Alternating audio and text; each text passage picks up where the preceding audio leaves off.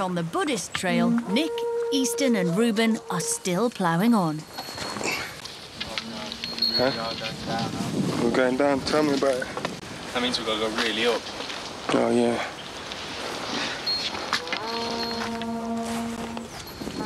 Put the camera away in a minute. Because I keep nearly killing myself. After 11 toe bruising hours, they reach the foot of the highest peak.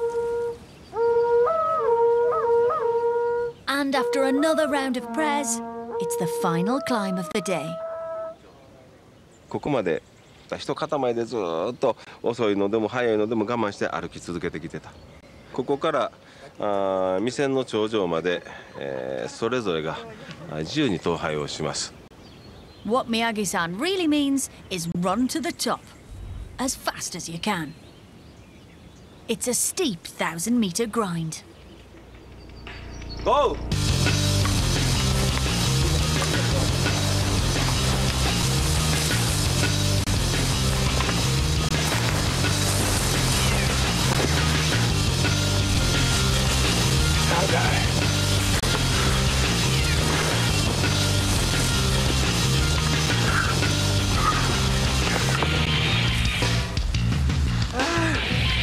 Very tired. Oh. I mean, we're all like super fit and stuff, but um, none of us can run upstairs for a kilometre. Oh my God, Ruben can. Go on, Ruben. Really, I'm so thirsty. You did well, good mate. That was hard. Really hard. Fido! Go on, E. Go on, E. Don't pass out, you're near the end. After going off too fast, Easton staggers in. I got half an hour.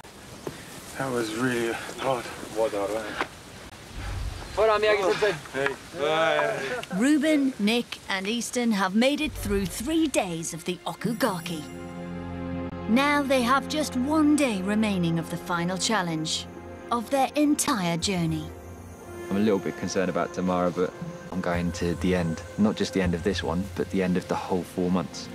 The walk tomorrow is the walk towards, you know, that's the finish line. It's just the last bit.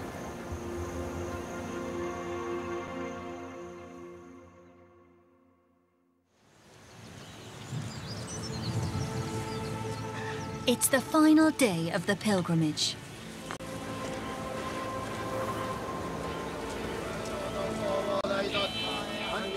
Group faces another 10 hours along a high ridge, ending at Mount Shakagatake and the bronze Buddha that marks the end of the Okugake. But days of trekking in Japanese sandals have ground down the Brits. My left knee's starting to hurt a little bit. Just I noticed it maybe about half an hour ago, a little tweaks. It's just reminding me that we've been walking for a long time, I think. Every time you go over a rock, it kills me.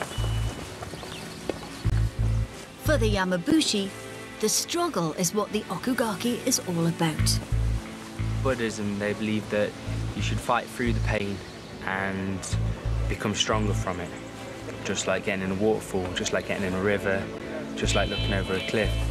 So when you start aching, they, they believe that you should just embrace the pain, focus past it.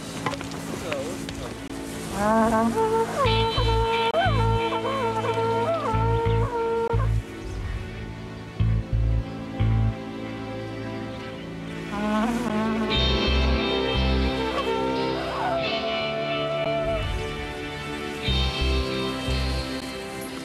four days and over 50 kilometres of tendon tearing pilgrimage, the end is finally in sight.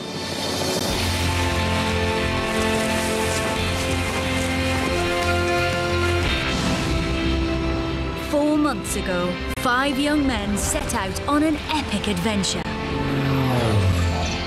They've faced their fears. They've wrestled with nature. And they've met men who've taught them what being tough is all about.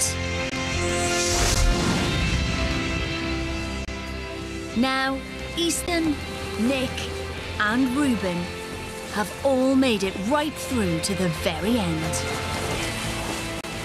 I feel like I've achieved something getting here to actually have made it to this. It's very beautiful.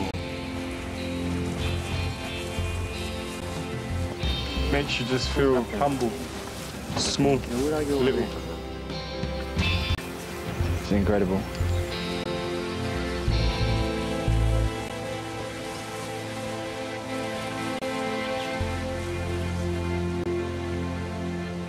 今日はここで、えーこれから士官をしたいと思います太陽を感じて自分もこの大きな大きな自然の中のおー一つそれをイメージしてね座ってもらったら非常にいいんではないかなと思います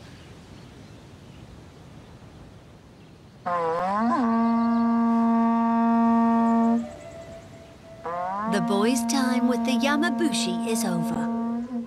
And so is their epic four month global challenge. When I first started the walk, I wasn't sure how it was going to help me. But as the walk grew and as the days went by, I felt like I began to understand, and I think I've grown a lot. Easton completed three challenges in Brazil, Bangladesh, and Japan. But his five failures Well done, Easton. You failed again. weren't so easy to take. just feel like the weight of, of expectation of everyone saying, oh, smash it, you're going to tear it up, you're going to do this. Like, and I haven't. And I feel like, how am I going to go home and. How am I going to go home and show people this? Now, though, Easton thinks he's changed.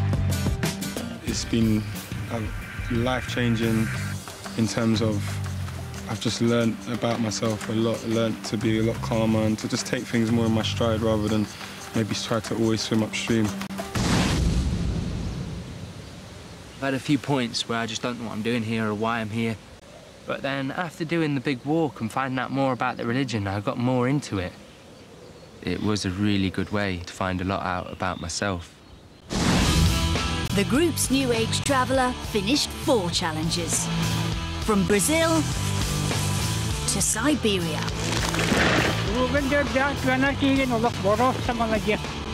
It might have been more if it hadn't been for a few issues with authority.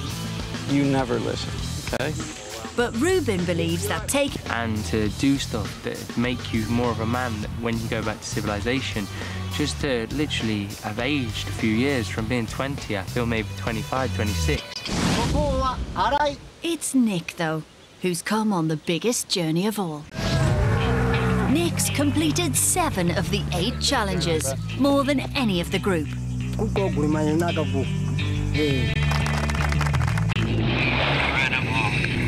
So congratulations. Thank you. Yeah, pleasure, man. Good job. And if it hadn't been for a monsoon storm in Bangladesh, he might have nailed the lot. It's, be- it's actually been the best, hardest, and worst time of my entire life. He's learned a lot about the world and also himself. Who I am's a lot clearer, I think. When I've been trying hard, I get seen as, you know, competitive, and throughout this trip, it's, it's, it's really got to me. But the walk has taught me just don't take it to heart, and I'm happy with who I am.